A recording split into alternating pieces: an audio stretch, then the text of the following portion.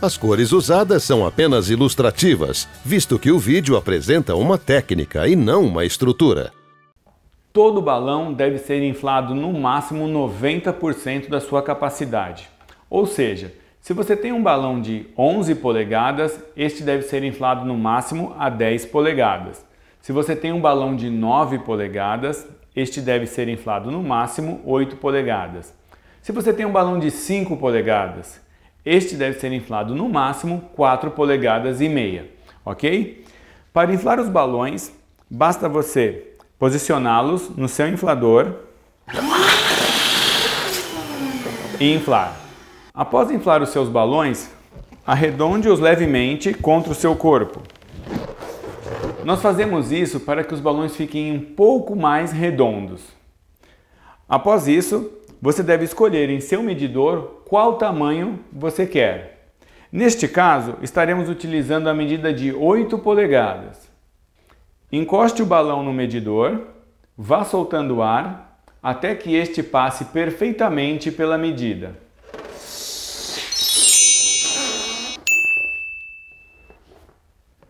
Repita a operação com o outro balão.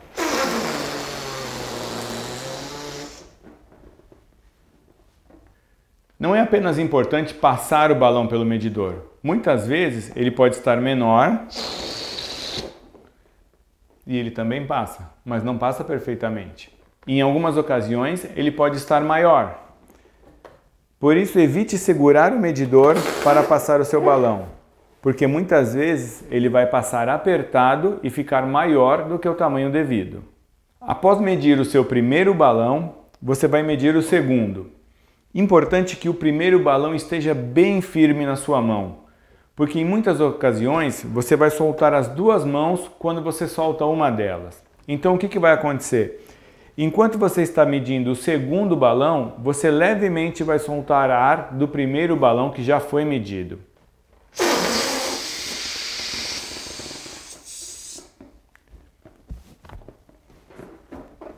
E eles não vão ficar iguais.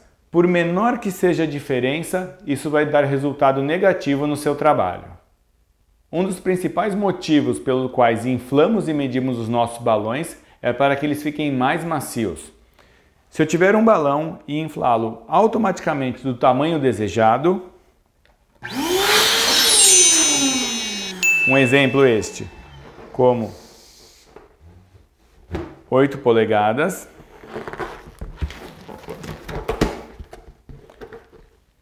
e o próximo balão eu inflar mais e depois medir.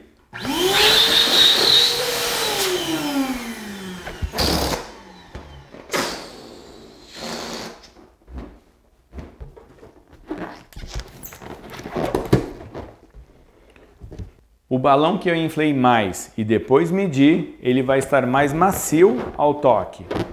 Porque muitas vezes nós vamos colocar este balão contra o chão, contra a parede, vamos fazer algum tipo de dobra neste balão e ele tem que suportar tudo isso.